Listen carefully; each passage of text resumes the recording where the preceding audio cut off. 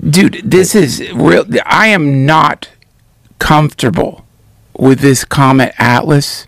I know. And and I like you know the, We've all- got Avi Loeb coming on to talk about it. he's amazing. I had him on my podcast a long time ago. He put up with my A lot of people in the beginning were saying that it's bullshit. It's a comet. Why is he saying this? He's risking his reputation. But then as time's going on, they're going, "What? This is weird.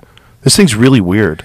Well, it's the uh, what? Okay, first of all, it's important to note that one thing that titillates my dumb ass is it just so happens the government shutdown coincides with when we could use the satellites on Mars to get pictures of that f- thing. So we're not getting pictures. They did release a picture of it yesterday. The government shutdown is stopping us from getting pictures of this thing. Y- yes, yes, That's insane. that's insane. Now That's so insane. They should open that up. I mean, it seems like they, they, they just it, that's really weird. There are. Did you see the images that just came in though? The Europeans Yeah. got an image of it. It's weird looking. It's weird looking, but I don't know what a comet looks like. So I don't know what a comet looks like, and I don't know why it's weirder than other comets. But it That's does seem like it's going. loop, loop. It's like Yeah. rolling in a weird way, but it's the it's the gas, right? It's like it's what it's releasing is the weird part. Well, the weird part is coming from the same part of the universe where the wow signal came from. Yeah, that's weird. That's weird. That's weird. That's dude. weird. Because that wow signal, what it was like 70 seconds long? Some very strange coded signal that was 70 seconds long. You know what else is weird is Jeremy Corbell said a bunch of people are going to start saying there's a mothership coming to Earth and don't believe him. Remember he was saying Right. that? Yeah, what's that all about? Why did he know that? I don't know. You got to tell people why you know something like that. You can't just say that. Well, I You know what I mean? Like, how do you know? How do you know that it's not really a mothership? How do you know they're going to say it's a mothership? well Corbell he's got to do this tightrope walk because mm-hmm. somehow he does have inside Access. con Yeah. contacts, but he, if he says too much, he he puts his whole life in danger. it's so- such a spy TV show. Dude, so much of it seems like a spy TV show. So much of it seems like a well written psyop. It's so weird. Yeah. A few days ago, on October 3rd, it passed uh, near Mars within 29 million kilometers, and uh, this camera was able to detect it.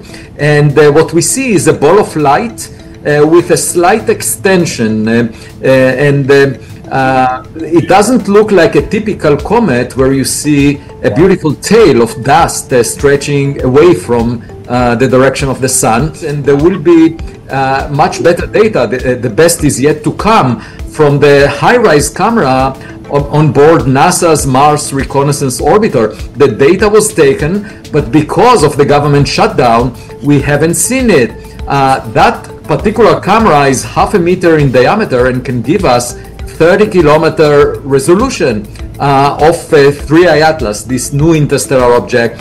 And that could uh, potentially tell us how big it is because uh, the amount of sunlight that is reflected from it will set uh, the brightest pixel in the image that we get from NASA. So uh, everyone is eagerly awaiting that because it will be the best, the highest resolution image we have. And you know, a picture is worth a thousand words. we've had sworn testimony where they'll tell you, they'll say, um, yeah, I've seen beings. There's a movie coming out. And, and w- hold on, and the testimony says this is sworn testimony. Sworn for the testimony. They've got, they've, uh, there are beings and there's, there's, uh, saucers or some craft or something. But there's a movie coming out pretty soon if it's ever allowed to come out. I was in it a little bit. And, um, and they have former members of the CIA, you have others that positively say they were there and they identified these things. They diagnosed them and they saw them. They saw the craft. And you know, there there's enough people out there saying it, but they're just so suppressed, and the media moves on so fast on something. And, and you know, I, I've been on so many of these interviews, and they're playing the the theme from um, uh, one some crazy TV show or something before I come on, you know, and they're just making a joke out of it, and I get it. People want to laugh about it. I don't get it at all. Uh, yeah, I mean, I, I get the fact. seems fact. like an absolutely. I mean, seems they like just a- want to humiliate me, and I it's it. a deadly serious topic, objectively speaking. And if It's a national defense issue. It's everything. It's everything. course. I mean, it's not a national. It's a world defense issue. it's a lot more serious than Black Lives Matter A or any of the other nonsense that we've you know become obsessed with over the past generation. So, um, yeah, there's. I mean, that tells you right there that's part of a, an an operation designed to discredit people who ask.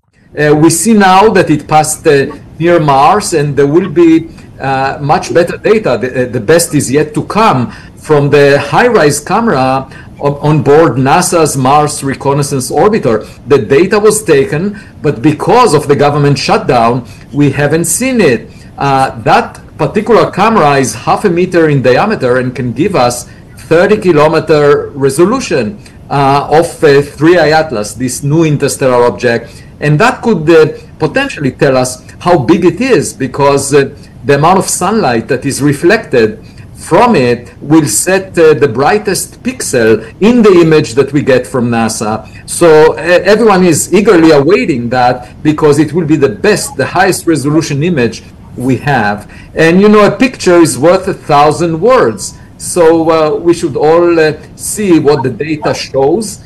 And in the coming months, uh, this object will pass close to another mission called JUICE on its way to Jupiter. It will also, um, that will happen during November. But just before that, on October 29th, it will pass closest to the sun. And uh, and then it will get warmed up. Uh, and the question is, how will it respond to this extreme uh, environment close to the sun? And then uh, uh, in, uh, on December 19th, uh, 2025, just before Christmas, it's supposed to be closest to Earth uh, at a distance that is uh, roughly 1.8 times the Earth-Sun separation. And after that, on March 16, 2026, it will come close to Jupiter, uh, within 54 million kilometers from Jupiter. And there is a spacecraft uh, orbiting Jupiter called Juno that uh, we hope that NASA will use to learn more about it. And, you know, altogether, it's uh, very exciting because uh, we've never thought about the potential uh, implications of finding an object that big that could be something other than a rock, an icy rock. Just imagine that it, was a technological object that selected this uh, orbit to be aligned with the planets around the sun for a reason. It was designed by some intelligence and uh, we are not uh, prepared for such a visit. And perhaps the wake up call from uh, 3i Atlas, this object, uh, will alert us to uh, be more um, aware of the potential risk. Professor Loeb, I so love your passion for this topic and your excitement on it. I don't know if I could have taken your class at 8 a.m. when I was in college, but um, tell me a little bit how this government shutdown. I think all things come, you know, full circle. How the government shutdown actually affects it. Um, you mentioned that we haven't seen the images yet from NASA because of the shutdown, but how exactly? Yeah, so in fact, uh, some people ask me uh, whether that might indicate that there is uh, evidence for uh, alien intelligence out there uh, because NASA is delaying the release of data. I said uh, to them in response that uh, this uh, shutdown and the delay is uh, not a sign of extraterrestrial intelligence, but more a sign of terrestrial stupidity. Uh, and uh, uh, with respect to why I'm so excited, you know, it's I, I the question of are we alone is the most romantic question in science.